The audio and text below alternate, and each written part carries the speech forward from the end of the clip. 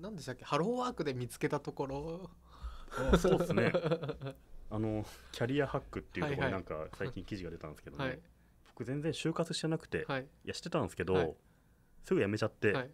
なんかこんなの絶対決まんないよと思って、はい。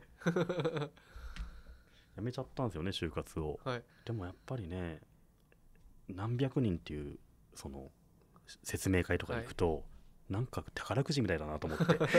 絶対俺なんか入れないと思ってはい。辞めちゃって、卒業した時はまあニートになったんですけどね、で塾の先生とかでバイトしたんですけど、その時まだニートって言葉なくて、はい。1年ぐらいしたら突然出てきたんですよ。生み出された言葉で、はいはい。ニュースとかでもうニートニート言ってくるから、はい。うちの親も僕実家住んでたんで、はい。親も心配しちゃって。お前は D とか？そうそう。あなたニートなんじゃないのって言われていやいや違うよ。ハローワーク 行ってくるよっつって。で僕あのその時友達とはい。ピンポンって映画あったの知ってます、はい。この星の一そうそうそうそう。等賞になりたいの俺は卓球で。窪塚のやつ、はい。あれ友達とすごい見に行って、はい。その回卓球場行ったら僕、はい。卓球一番うまくてその時たまたま。卓球の会社入った方がいいよって言われて。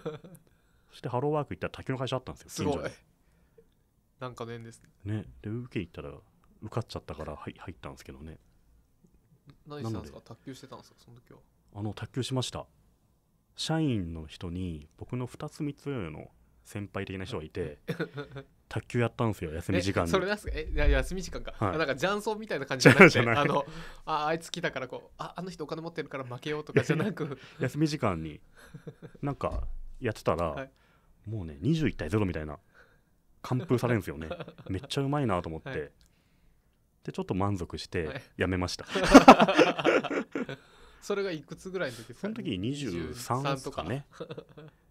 でちょっとインターネットとかも割とねちらほらミクシーとかできたとかそういう頃だったんで、ーはいはい。インターネットの仕事もいいなみたいなはいはい。思ったんですけど、でも全然知識もなくてよくわかんないんで、そのネットメディアの記者になれば、はい。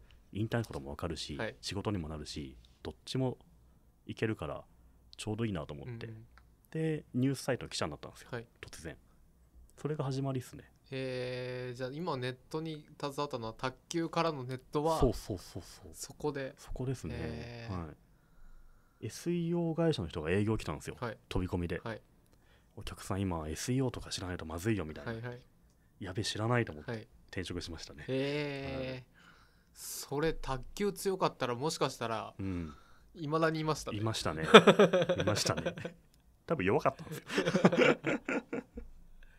で11年ぐらいですねもうそれでね。ウェブメディアに関わるようになって